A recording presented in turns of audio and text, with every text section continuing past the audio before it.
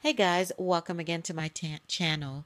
So today I am doing a skincare routine and first of all I'm using my Trustio steamer just to open up the pores so that um, I can uh, get all the products into the skin.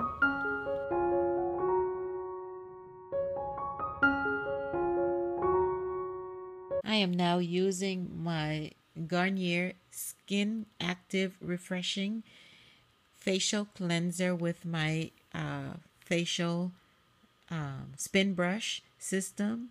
I did a review on that. Um, I will link to to that video.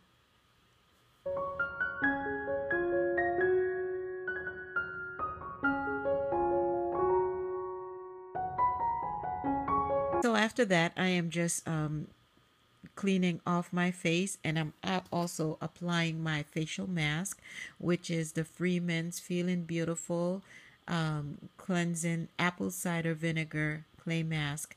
Um, you've you've heard me uh, spoken about this before. It is awesome. It is actually a clay mask and also a scrub um, all in one. So what I'm doing is I am actually using the steamer um, to open up the pores so that I can get this product onto my skin and into the pores for better penetration um, into the skin.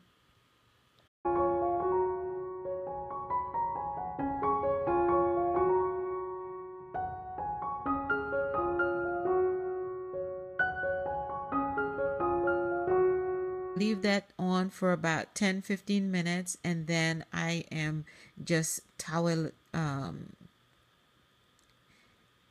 cleaning off the product off of my face and proceeding with my facial mask um, this is the Neutrogena uh, moisturizing um, mask. I love this stuff so much, you guys.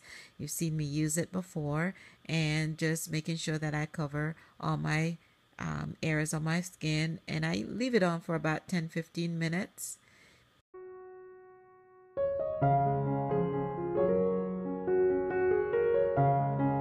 All right, and then I come back and just remove after 10 15 minutes. I just re remove the product off of my skin and just massage the remaining ingredients into the skin.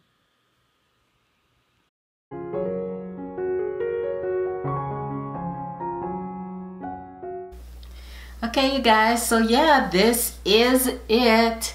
Um just massage in the moisture.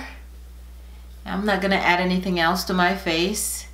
Um, okay you guys so yeah see you next Sunday for another episode of skin prep Sunday. Bye you guys